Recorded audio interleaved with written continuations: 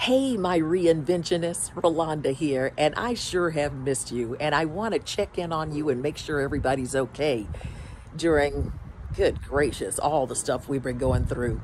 Anyway, I bet you've got some great reinvention stories to tell by now. Some of you have really remarkably surprised yourselves with the way that you have dealt with change and found those gifts within within your own self to try something new. I want to hear those stories. Some of you are still trying to figure out what in the world am I going to do next?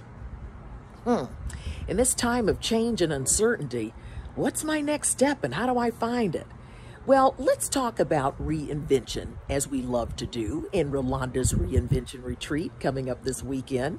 I'm going to be chit chatting on Saturday and Sunday live, so get ready, and here's your Zoom information to join. That means 10 a.m. Pacific time, 1 p.m. Eastern time. So grab your breakfast or your brunch or your lunch or whatever, and let's hang out and talk reinvention. Rolonda's Reinvention Retreat this weekend. Talk to y'all soon, and I can't wait to catch up. I missed you guys. We always have fun too. So I'll see you tomorrow and Sunday.